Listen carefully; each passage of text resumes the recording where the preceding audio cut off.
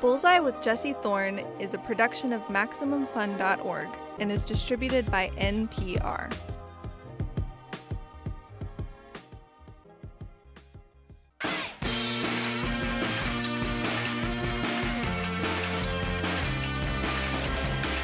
It's Bullseye. I'm Jesse Thorn. Next up on the show, Mark Mothersbaugh. Mark Mothersbaugh doesn't need that much introduction. He's a composer who's worked in TV and film for almost four decades. That includes classics like Pee Wee's Playhouse, Rushmore, and Taika Waititi's Thor Ragnarok.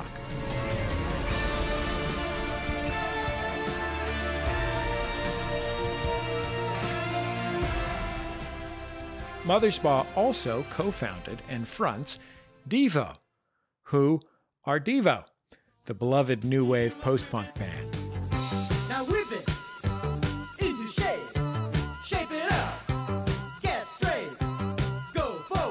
And guess what? Devo's back. They're touring the US with a handful of dates, still as fun as ever, so we figured we'd reach out to Mark Mothersbaugh for a segment we call The Craziest Day of My Entire Career. And wow, when, we asked Mark Mothersbaugh for such a day, he delivered. This story has it all celebrities, discos, wild miscommunications.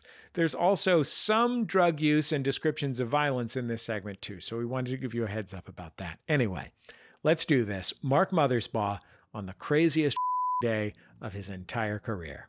All right. Um, months I'm not going to get exact on this story, but I can tell you year. It was 1977.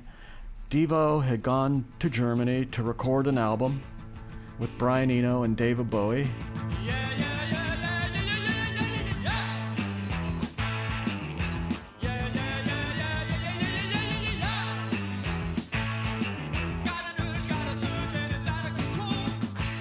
And then uh, when we finished, we were flying back to the U.S. and um, Jerry and I stopped in uh, New York before going back to Ohio, where we lived. The day I get into the into my hotel, a woman who was an AR person from Columbia called me up and said, "Hi, I'm Susan Bloom. What are you doing tonight?" And I go, "Well, I have no plans." And she said, "Would you like to go on a double date with me?" And I go, "Sure." She goes, "Well, we're going out with Andy Warhol and Michael Jackson." I said, "Okay, sounds good to me. Where are we going?" And she goes, "Studio 54."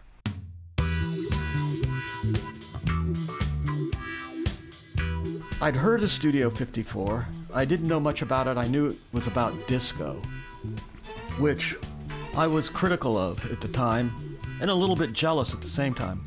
Disco was antithetical to Devo because it was apolitical, non-political, and the thing that I that I was jealous about was that there was a lot of good sounds in in disco music. So going to Studio 54, I was kind of like, well, I have no idea what I'm in for, but I'm going to be in good company.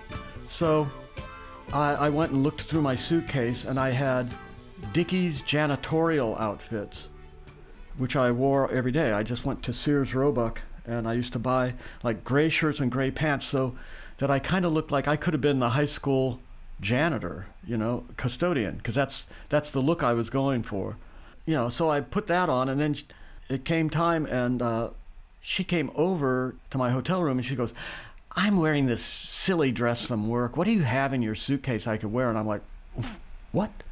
You don't want to wear any of my clothes. It's you know I don't have. And so she went through my my suitcase that I'd just come back from England with, and found a pair of blue jeans. And so she said, "Ah, these are great." So she put on my blue jeans and a T-shirt, and uh, we went out the door, and we went to Studio 54, and we got ushered in some VIP thing while people in a long line are craning their necks to see who it is, and nobody knew who I was, you know. So I'm like, I'm like waving, and people are like, "Who's that? Is you know, is that, you know?" And we go in, and we get taken over to a special roped-off seating area. definitely we were in the VIP area, and it was like a sunken living room. And we're sitting there with Andy at Warhol. We get introduced to Andy. He goes, "Oh, hi," you know. And uh, Michael's very quiet, and he had just finished doing The Whiz, so he was dressed in all like patchwork suede, and he had a big apple hat on. So we all sat down, and then of course, because it's Andy Warhol and Michael, people are trying to reach over the curtain, you know thing, and I'm turning around saying hi, and, and those guys are ignoring them, and and I'm like, wow, where am I? This place is, and I felt totally out of place. Nobody knows who the hell I am or why I'm there. As far as they know, I'm like a, a valet or I'm dressed like a TV repairman, so maybe I'm fixing one of their TVs, and um, they're chatting with everybody, and somehow I see a joint get passed around, and you know it goes to a few people, and then it gets over to Michael, and he just like waves it off. He doesn't want it, and it comes to me, and so I thought, well, you know, we don't have marijuana in Ohio.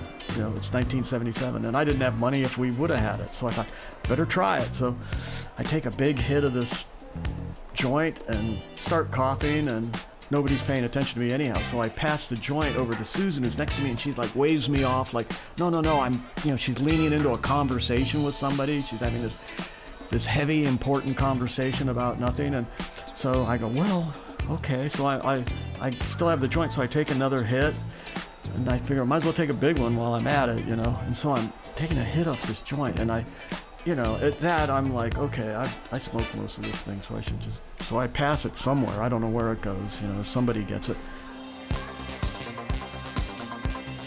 Not long after that, Susan goes, "Hey, you want to dance?" And I'm like, I go, well, I, I really don't know how to. And she's like frustrated that I'm not going to dance. And so she brings her girlfriend with her. And the three of us go out, and she just has me stand there next to this big filled dance floor.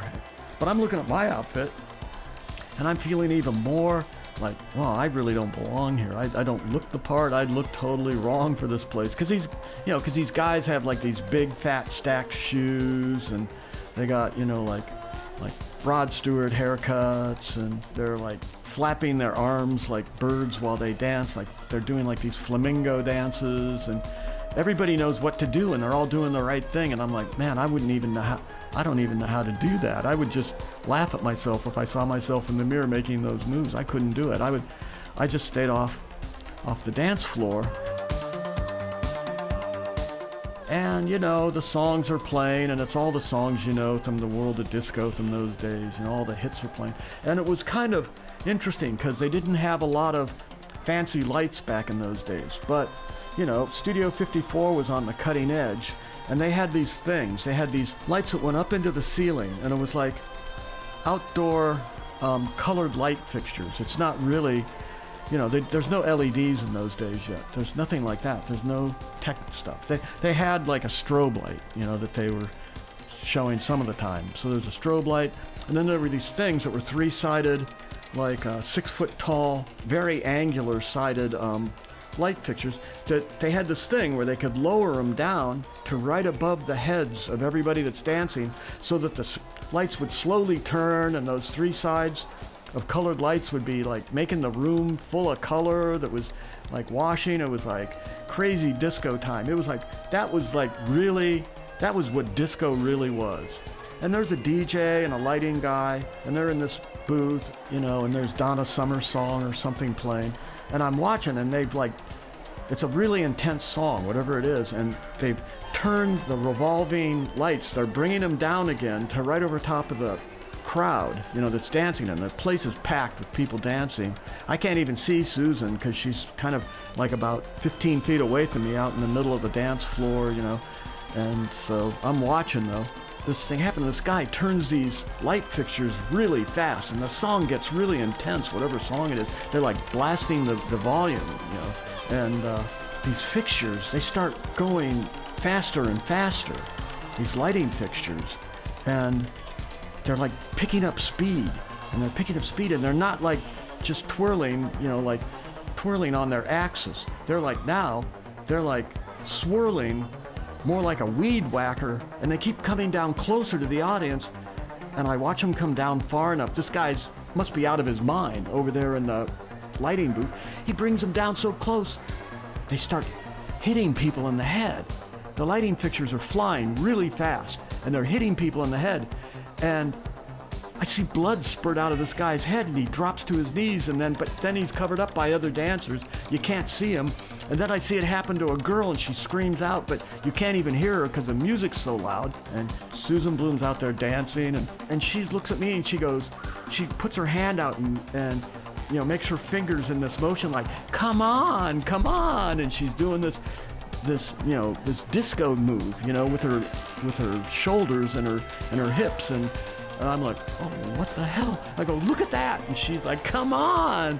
And I'm looking at more people are getting hit and there's screaming happening all over the room. This thing is out of control. All these people have gotten hit by these, these lighting fixtures. And she looks at me and she comes over and she goes, what is it? I go, did you see what happened to those people just now? Did you see what those lighting fixtures? They're hitting people in the head. And she's like, what? And she looks over and then I look over too and they're just hanging there normal. They're just hanging there and they're just slowly twirling in a circle above everybody's head, two or three feet above people's heads. She looks at me in the eyes, and my eyes probably look crazy. And she goes, You didn't smoke any of that PCP, did you? And I go, What's PCP? And so she takes me by the arm, and we go back over to where Andy is. And he's like, Hey, what's going on? And she goes, Andy, he just smoked a lot of PCP, and I better get him out of here now. She takes me out to a cab, and we get in it, and she takes me back to, I think it was Helmsley Hotel, Helmsley Estate, something like that. It was like um, the hotel I was staying at at the time. And she gets me up to my room, gets behind me, and pushes me into the room onto my bed. She goes, Good luck. I'll give you your pants back tomorrow. And then just pulls the door shut. And I just remember I sat there and I was hallucinating and going, What just happened? What just happened? for like uh, the next four or five hours before I finally passed out.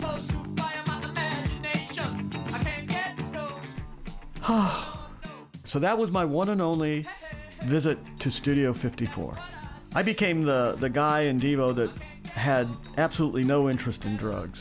I didn't want to have anything to do with drugs, to be honest with you, for until I found out about Aleve saved me from a back problem I was having. Mark Mothersbaugh on the craziest day of his entire career, the time he lost his mind at Studio 54 in the company of Andy Warhol and Michael Jackson. Devo, as we said, are back touring. They have a handful of dates set for this year and next. Mark is still scoring movies and TV shows. You can hear his music in the upcoming movie Hotel Transylvania Transformania, which also stars former Bullseye guests Kathryn Hahn and Steve Buscemi. That's the end of another episode of Bullseye. Bullseye is created in the homes of me and the staff of Maximum Fun in and around greater Los Angeles, California. We're here at my house, I have to time all of my recordings around the uh, the regular passing of the ice cream truck. Um, and unfortunately, it's not because I'm running outside to get ice cream. It's that the song it plays is super loud. Our show is produced by Speaking Into Microphones. Our senior producer is Kevin Ferguson. Our producer is Jesus Ambrosio. I used to be a bomb pop guy, but they have its its at this uh, ice cream truck. So when I do run out, I, I usually end up dropping the dough on an instant. Anyway, production fellows at Maximum Fun are Richard Robey and Valerie Moffat. We get help from Casey O'Brien. Our interstitial music is by Dan Wally, also known as DJW. The other day I went to a movie about Burt Reynolds with Dan Wally. He told me about a record come up in San Diego. Good guy, Dan Wally. Our theme song is by the Go Team. Thanks to them and their label Memphis Industries for sharing it with us. You can keep up with our show on Twitter, Facebook, and YouTube. We post all our interviews there. And I think that's about it. Just remember, all great radio hosts have a signature sign off. Bullseye with Jesse Thorn is a production of MaximumFun.org and is distributed by NPR.